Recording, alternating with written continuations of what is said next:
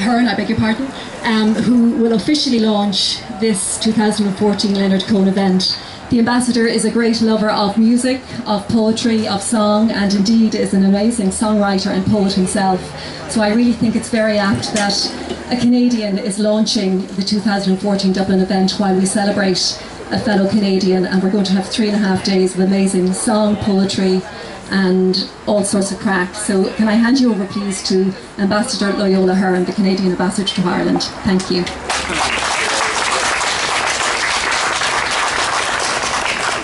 Thank you very much, Paula. And the first thing we should do, I'm sure, is thank the musicians for their performance to date. And I know they'll be picking up again. Great job, guys.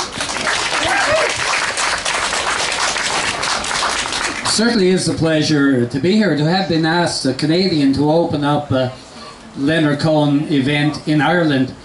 Uh, partially because I suppose I'm, I'm more Irish maybe than anything else. My roots are here. One of the reasons I agreed to come here three and a half years ago. Uh, my father's people came from Tipperary. Uh, my mother's people came from Kilkenny. So I have great fun watching the hurling games. Whoever wins, I'm on their side, right? But uh, it, it's great to be back. However, our people left in the late 1700s.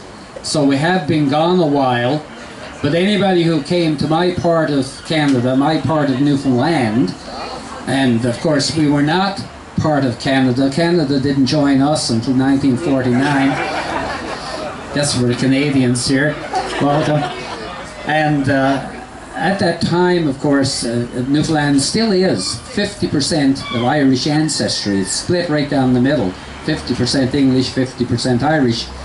And in my area, it's about 100% Irish in relation to the people who live there, their ancestry over the years, because they were so isolated, they really didn't lose the accent or their love for culture or music.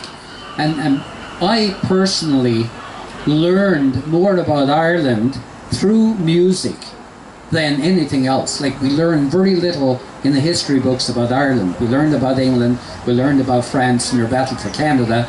Nobody talked about the Irish and the work they did in the early years and throughout the years in building the great country we have. It's entertained the world. Young people today talk about Leonard Cohen. People older than Leonard himself talk about Leonard Cohen. And when you talk to people here, you're from Canada, they will say the first name they will talk about. If you're in Canada, they'll say, oh, Rocket Richard or Gordie Howe or Frank Mahovlich or some, some of our hockey players. But here they will say Leonard Cohen because they remember his name so well.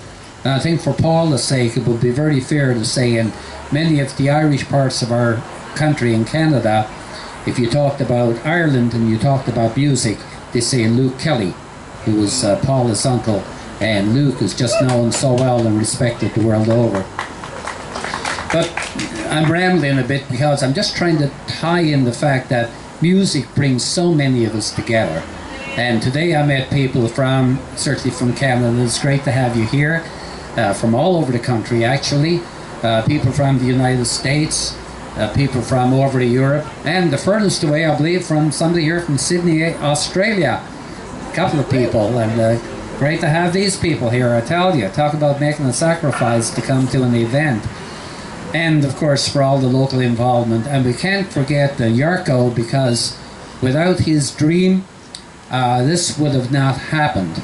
And it just goes to show, again, as some of us talked about tonight, if somebody really believes in something, you realize a lot of others share that same dream, but it takes somebody to get up to make that first step to bring it together. And as Jarkko did it in, in your field with the event, Leonard Cohen certainly did it in the musical field and brought a tremendous amount of interest and involvement to that literary and uh, music field where he's such an idol.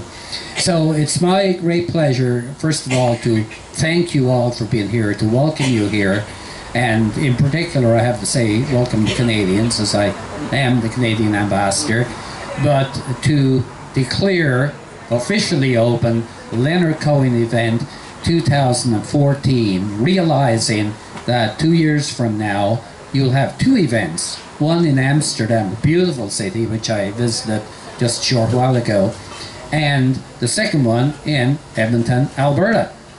And uh, those of you who haven't been there, make sure you make that trip because, again, like Ireland, Canada is such a beautiful country, and one of the most beautiful places, as everybody knows, is Alberta.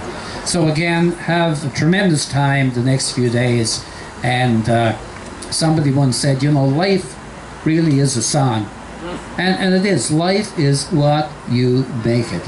And you have no better chance to prove that than over the next few days, uh, thinking and talking about the great Canadian, great contributor to the literary and music world, Leonard Cohen. Thank you very much.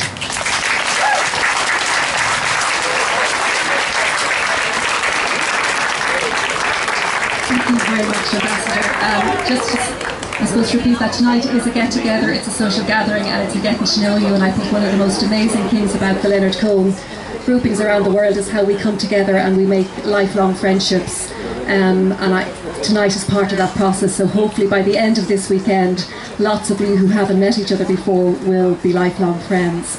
So folks, enjoy your evening. We're thrilled, as I said, and honoured to have you here. And once again, thank you to the Ambassador for officially launching our 2014 event here in this amazing city of Dublin, Ireland. Thank you.